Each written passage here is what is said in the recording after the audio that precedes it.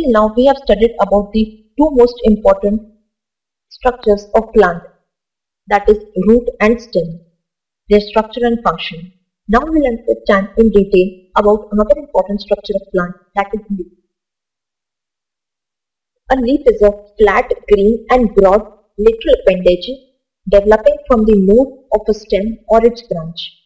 It possesses an axillary bud in its axil, which has determinate growth. There are basically three parts of a leaf. Leaf base, lamina and petiole. The leaf remains attached to the stem through leaf base where axillary bud is present. They are small and leaf-like. Sometimes a pair of outgrowth occurs from the leaf base. These are called stipules. But in few plants like maize, a sheath develops out of leaf base which covers the entire nodal region. Such a leaf base is known as sheathing leaf base. A stalk-like region connecting the leaf and the leaf base is known as petiole. It supports the lamina and arranges in such a manner that it secures proper light and sufficient manner for carrying out the processes of photosynthesis. If petiole occurs in a leaf, then that leaf is known as petiolate. And if petiole is absent, the leaf is called sessile. Generally, petioles are round and cylindrical. Lamina is the main part of the leaf. It is broad, flat and green. Veins are distributed within it. There is a great variation of shape, size, margin, etc. of lamina within various leaves of various plants. The arrangement of veins and leaves is known as venation.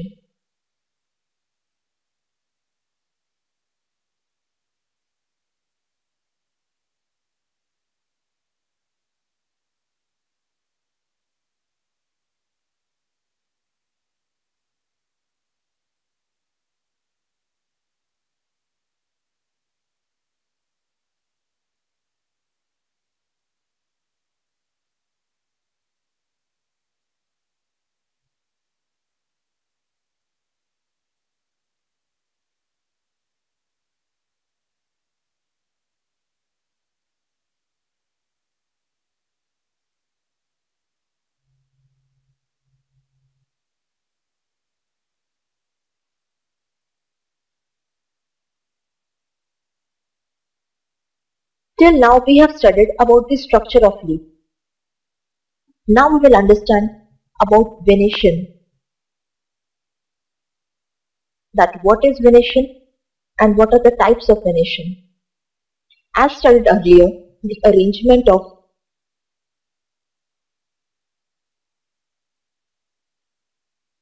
veins and ventriculates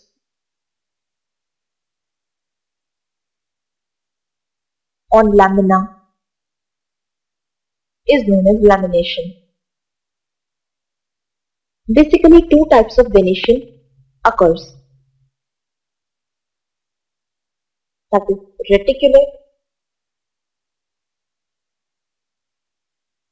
and parallel venation. Reticulate venation. In such a kind of venation, a network of veins is formed that originate from each other. Such a venation generally occurs in dicotyledon leaves. On the contrary, parallel venation is a type of venation in which pattern of veins of leaf arranges in such a manner where secondary veins run parallel to each other. Such a type of venation generally occurs in monocotyledonous leaves. Further, the two types of venation is divided into further two types that is unicostate and multicostate.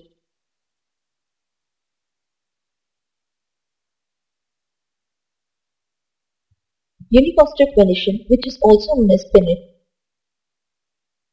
is the type of venation in which only a single midrib occurs that runs from leaf base to leaf apex. On the contrary, the multicostate venation which is also known as palmate More than one midrib occurs running from leaf base to leaf apex.